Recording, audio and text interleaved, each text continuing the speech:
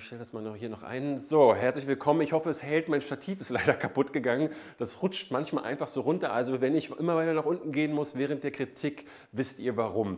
Ich möchte euch heute einen Film vorstellen, bei dem ich tatsächlich die ganze Woche überlegt habe, ob ich ihn euch wirklich vorstellen möchte, nämlich Argyle. Ein Film, bei dem ich in der Trailerkampagne schon dachte, mein Gott, ist das ununterhaltsam. Wird es Leute geben, die da am Starttag ins Kino gehen werden? Falls ihr mit dieser Frage gerade noch ringen solltet, habe ich hier eine kleine Empfehlung für euch, wie ihr das Ganze handhaben könntet. Außerdem, bevor es mit der Kritik losgeht, habe ich auch noch eine andere Empfehlung für euch. Denn, falls ihr es nicht mitbekommen habt, demnächst ist Valentinstag und da hätte ich zum Beispiel eine kleine Geschenkidee für euch.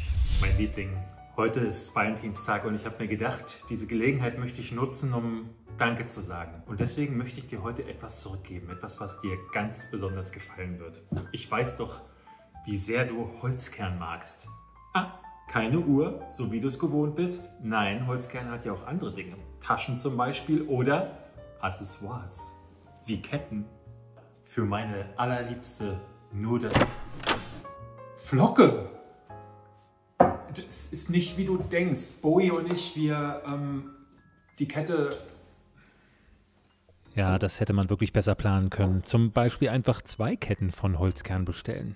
Ihr wisst noch gar nicht, was Holzkern ist. Holzkern stellt hochwertige Accessoires und Uhren aus natürlichen Materialien wie Holz, Stein oder Edelstein her und achtet dabei auf eine möglichst umweltverträgliche Produktion und Verpackung. Und dabei sind die Preise, wie ich finde, mehr als angemessen geblieben. Obendrein ist der Versand auch noch kostenlos. Neben den Ketten stechen bei Holzkern vor allem die hochwertigen Uhren heraus, die ebenfalls aus natürlichen Materialien bestehen stehen. Vielleicht als kleine Erinnerung, in wenigen Tagen ist bereits Valentinstag. Und falls ihr eurer besseren Hälfte oder einem ganz besonderen Lebewesen etwas Außergewöhnliches mit Stil schenken möchtet, dann jetzt schnell im Shop stöbern und unbedingt meinen Code nutzen. Mit dem spart ihr nämlich 15%. Und wenn ihr bis zum 10.2. bestellt, dann kommt die Lieferung garantiert auch noch pünktlich an. Also jetzt loslegen und jetzt geht's weiter mit dem Video. Wow, hey, da ist eine Katze drin. Oh mein Gott, Sie sind die verdammte Ellie Conway. Die Autorin der Argyle-Reihe, Ellie Conway. Ich bin so ein großer Fan. Oh ja, und was machen Sie? Spionage. Bekomme ich ein Autogramm?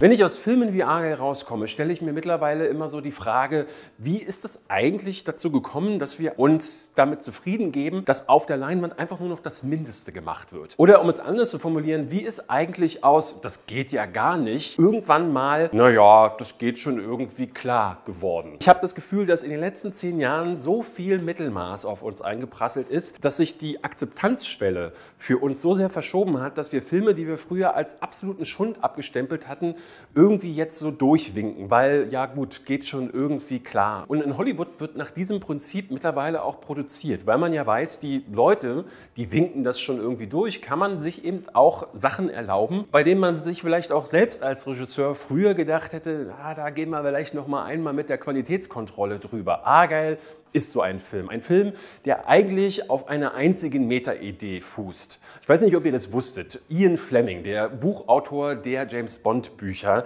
der ist tatsächlich selber Spion gewesen. Im Zweiten Weltkrieg hat er selbst als Agent gewirkt und das hat natürlich bei den Lesern des Buches und bei Zuschauern des Films immer diese faszinierende Frage aufgeworfen, wie viel Wahrheitsgehalt steckt denn da wohl drin?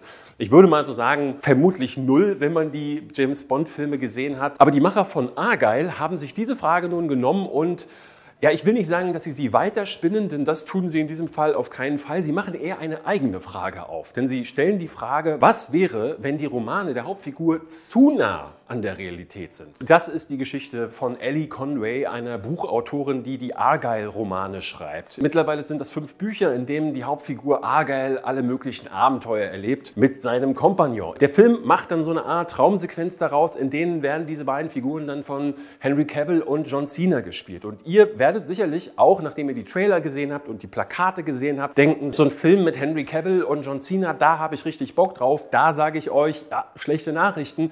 Die beiden kommen dann nämlich vielleicht so zehn Minuten, lass es zwölf Minuten sein, drin vor. Und dann ist im Grunde das hier eine Geschichte, in der ausschließlich Bryce Dallas Howard die Hauptrolle spielt. Und die ist für mich, wie ich finde, die denkbar schlechteste Wahl für eine Hauptfigur in so einem Film. Denn das wirkte für mich immer so, als hätte jemand meine Mutter gecastet, um in einem Agentenfilm mitzuspielen. Die wirkt die meiste Zeit wie so ein Hausmutchen, die in der Regel dazu verdonnert wird, in den Szenen irgendwo an der Seite zu stehen, damit die anderen ihren Job machen können. Die anderen sind in dem Fall Sam Rockwell und ein paar Bösewichte, die der regelmäßig verkloppt. Denn ja, die Geschichte kriegt dann noch einen krassen Turn. Stellt sich nämlich heraus, die Geheimorganisation, die sie in ihren Büchern beschreibt, gibt es wirklich. Ja, und sie hat mit ihren Büchern quasi die Zukunft oder die Realität vorausgesagt. Und deswegen ist eine andere Geheimorganisation, zu der Sam Rockwell gehört. Und mein Gott, ist das alles dämlich. Ja, ihr habt es im Trailer sicherlich schon gesehen, Sam Rockwell sitzt dann irgendwann auch in der Szenerie rum. Und der ist eigentlich ein richtig guter. Ich mag den total gerne. Aber hier kann der nicht viel ausrichten. Ja, der hat in der ersten Szene noch ein bisschen Witz, den er versprüht. Das, was man im Trailer auch schon sieht. Irgendwann wird aus dieser Charakterdynamik zwischen den beiden aber dann leider was sehr, sehr Nerviges. Denn diese beiden sind dann dazu verdammt, um die Welt zu jetten und verschiedene Rätsel zu lösen, weil sie versuchen, der Frage auf die Spur zu gehen, was passiert denn nun als nächstes? Ja, sie als Buchautorin müsse das ja wohl eigentlich wissen. Und weil beide wider Willen miteinander verstrickt sind, kommen sie sich regelmäßig ins Gehege und ihr merkt schon, das ist alles ein wahnsinnig konfuser, wirrer Haufen. Und da habe ich noch nicht mal erklärt, dass dann auch noch eine Katze ständig drin rumwuselt in dem Film, die ja auch auf dem Plakat groß drauf ist, die auch im Trailer ganz prominent gezeigt wird und bei der man auch sich fragen muss, warum eigentlich, weil sie kommt im Film fast nicht vor und hat auch null Relevanz für die Geschichte. Man hat so das Gefühl, dass die irgendwann in der Konzeptionsphase des Films da gesessen haben in so einem Brainstorming-Meeting und dann hat einer aus der Marketingabteilung gerufen, hey, äh, Katzen sind doch voll das Ding im Internet und alle so, yes, voll die gute Idee. Und jetzt ist da halt eine Katze drin. Genauso verhält es sich ja auch mit John Cena und mit Henry Cavill und Dua Lipa. Drei Leute, mit denen auf dem Poster geworben wird und auch hier ist es wieder mal Etikettenschwindel, ein Wort, das ich erstaunlich häufig in meinen Kritiken neuerdings verwende, weil ich immer wieder das Gefühl habe, dass Filme einfach mit Blödsinn werben und diese Versprechen dann nicht wirklich einhalten können. Aber Argyle kann so vieles nicht einhalten, denn abgesehen von diesem ganzen wirren Durcheinander kann sich der Film nicht so richtig einigen, was er denn jetzt eigentlich sein möchte. Ist es hier eine Agentenkomödie? Ja, nicht wirklich, denn richtig lustig wird es hier eigentlich eher selten. Spannend ist es schon mal gar nicht, das hier ist nicht als Thriller konzipiert worden, aber die Action, die funktioniert nun mal leider auch nicht. Ja, gerade in der ersten Sequenz im Zug sieht man noch am ehesten, was in den Actionsequenzen passiert, aber wenn man das zum Beispiel vergleicht mit Bullet Train, einem Film, der auch im Zug spielt, von vor zwei Jahren, da sieht Argyle leider ziemlich alt aus. Vor allen Dingen fällt auf, dass die Szenen hier relativ brutal konzipiert sind, aber es kein Blut fließt. Auch hier wieder ein Film, der seltsam beschnitten wirkt. Also gucke ich dann die meiste Zeit dabei zu, wie Sam Rockwell versucht, irgendwie cool genug zu sein,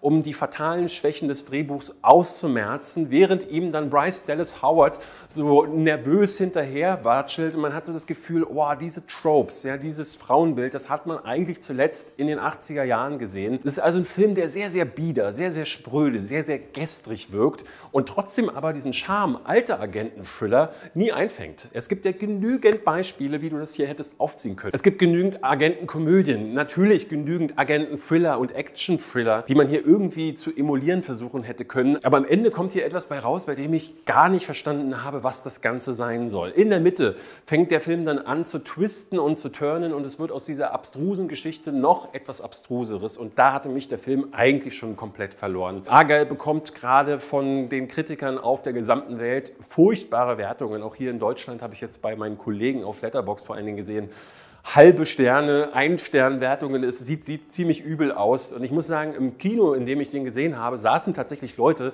die gelacht haben. Es kann also sein, dass ihr hier durchaus Spaß habt. Und das will ich daher dann nochmal anmerken. Vielleicht habt ihr nie einen Agentenfilm gesehen. Vielleicht ist das genau euer Humor. Und ich hatte auch das Gefühl, immer wenn die Katze zu sehen war, sind Leute besonders ausgerastet. Also wenn es reicht, dass eine Katze Miau sagt, dann rein in Argyle.